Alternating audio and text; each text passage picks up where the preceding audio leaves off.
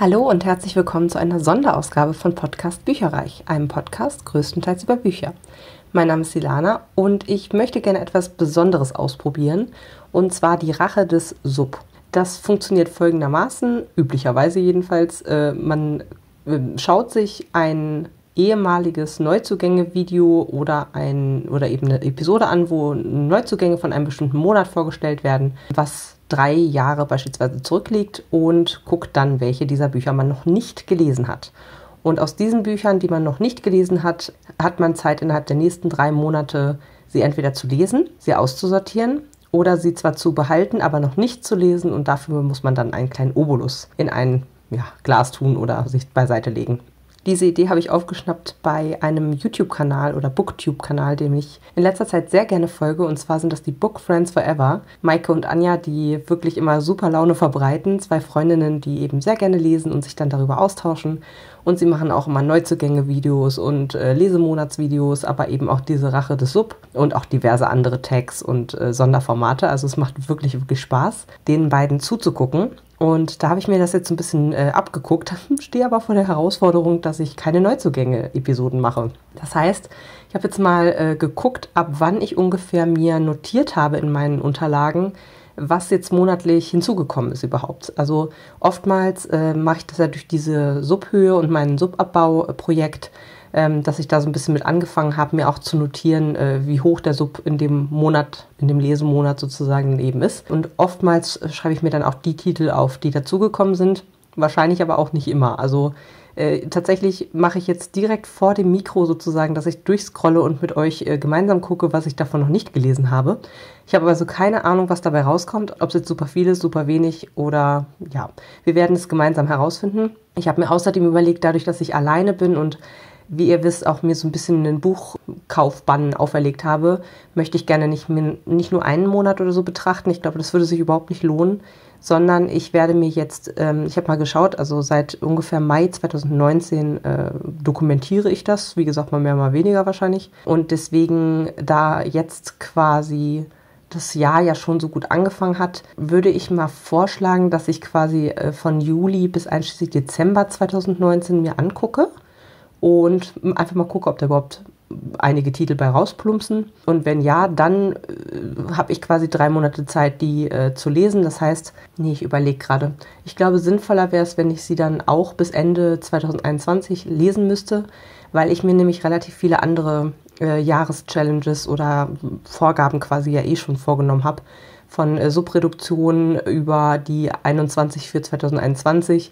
Dann habe ich noch so eine qualitative Challenge am Laufen von Modern Mrs. Darcy, die ja, ähm, also Anne Bogle, die quasi diesen einen Podcast auch macht, What Should I Read Next, den ich auch sehr, sehr gerne äh, höre. Und da sind auch nochmal, glaube ich, zwölf Bücher drauf, die ich mir quasi anhand meiner Ne, wie soll mein Lebe, Leseleben aussehen 2021, ich mir auch nochmal hier aufgeschrieben. Also da habe ich zwar auch schon sehr, sehr viele von abgehakt tatsächlich, aber nichtsdestotrotz möchte ich mich hier nicht äh, überbordend äh, zumüllen mit allen möglichen Challenges und Büchern, die ich dann unbedingt noch dieses Jahr lesen muss. Ich glaube, das ist zu viel Druck.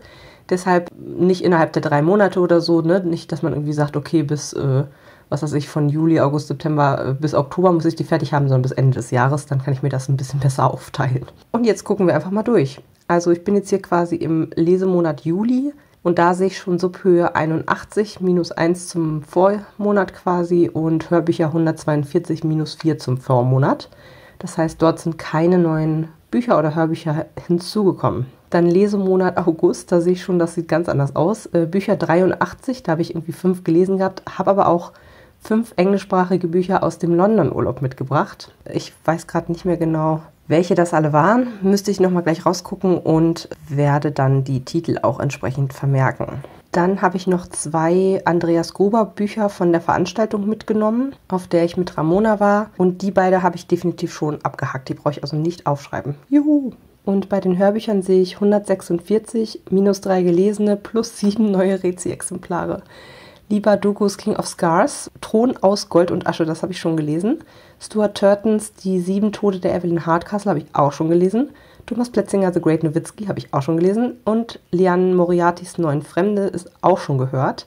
Plus drei neue Zimt- und ähm, Bücher, also diese Reihe, die habe ich auch schon alle gelesen. Also herzlichen Glückwunsch, die sieben Rezensionsexemplare, gut, die lese ich auch immer relativ äh, fix, sind auch alle durchgehört. September 2019 bei den Büchern äh, Stapel 81, vorher 83 und es ist ein angefordertes Rezensionsexemplar, nämlich der Oktobermann dazu gekommen. Das war ganz schmal, das habe ich auch ganz schnell gelesen. Ein unaufgefordertes Rezensionsexemplar Laufen von Isabel Bogdan, was ich auch als Hörbuch hatte das habe ich auch schon gelesen, war grandios. Minus drei gelesene Bücher, minus ein ausgeliehenes und wieder zurückgegebenes Buch wegen Band 2, die Auslese. Oh Gott, oh Gott.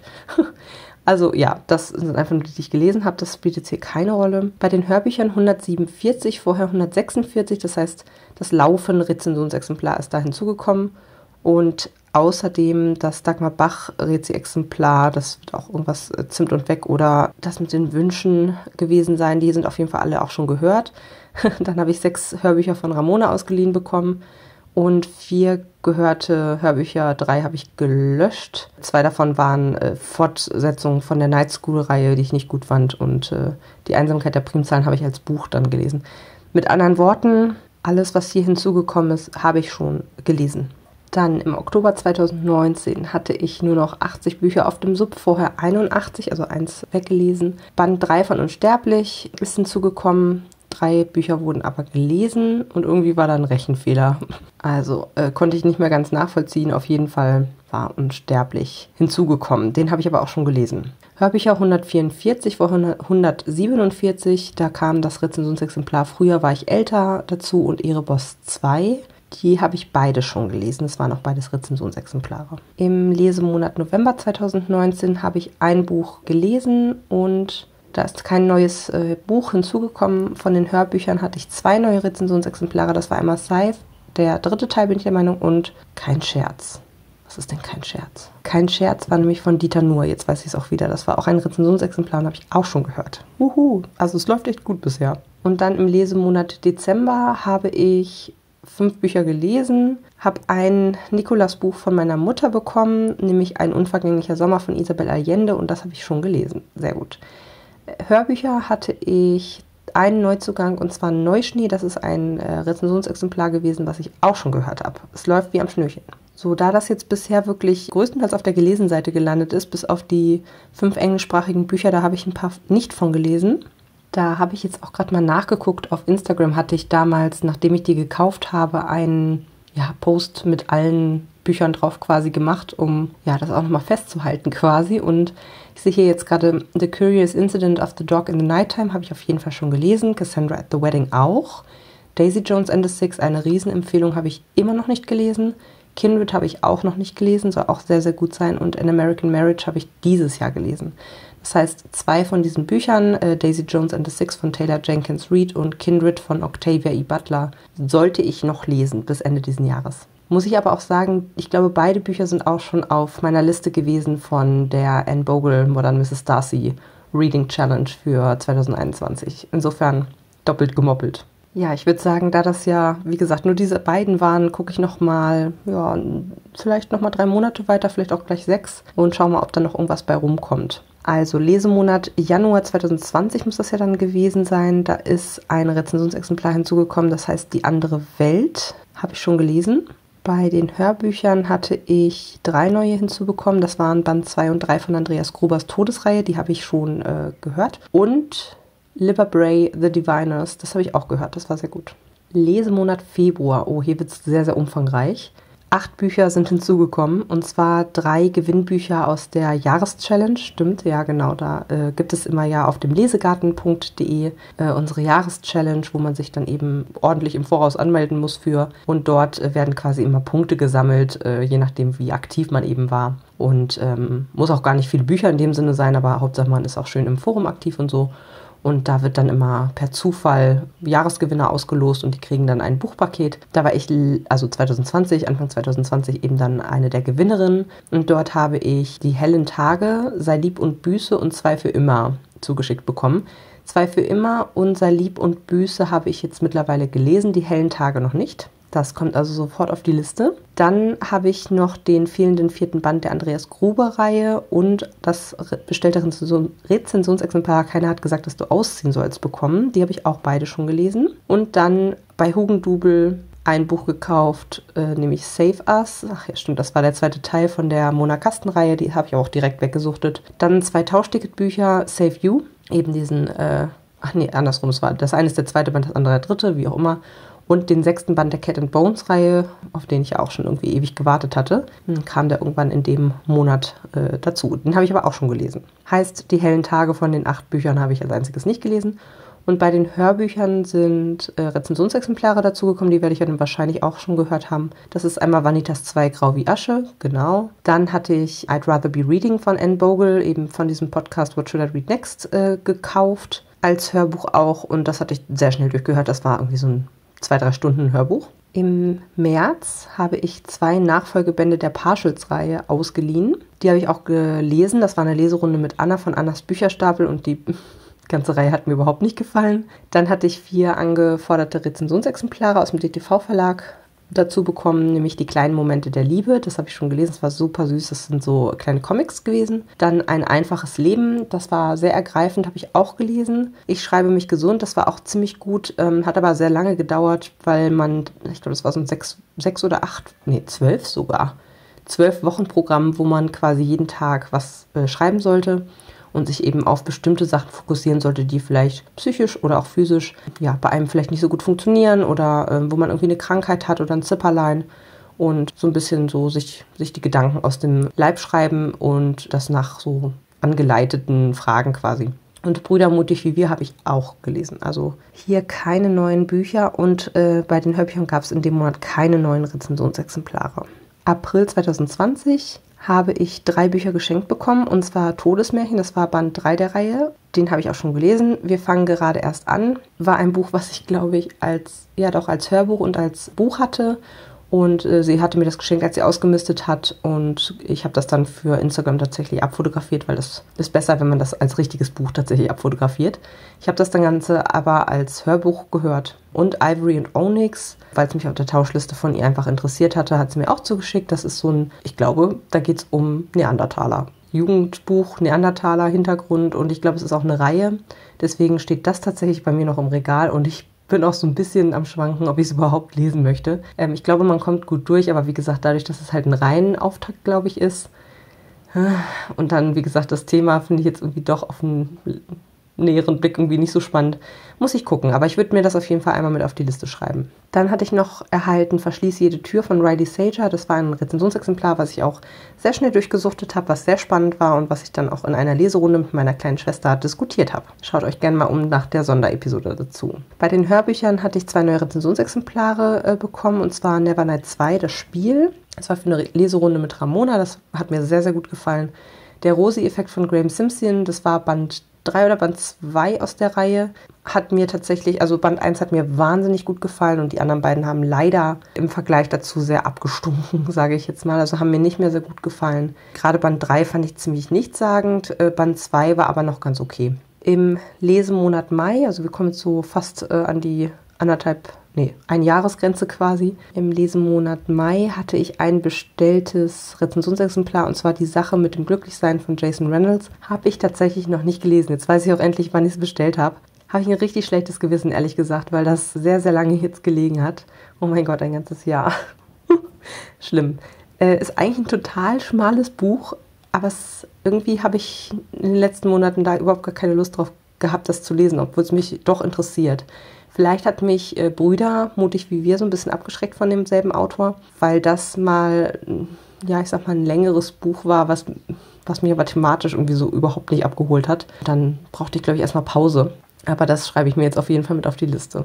Bei den Hörbüchern ist ein spontanes Rezensionsexemplar hinzugekommen und zwar Ich bin Gideon von Tamsin Muir. Das hatten mehrere Buchblogger empfohlen und sollte wohl so ähnlich sein wie Nevernight, bloß düsterer und das habe ich auch schon gehört. Fand ich okay. Also es war solide, würde ich sagen, aber ein paar Sachen hatten mich auch gestört.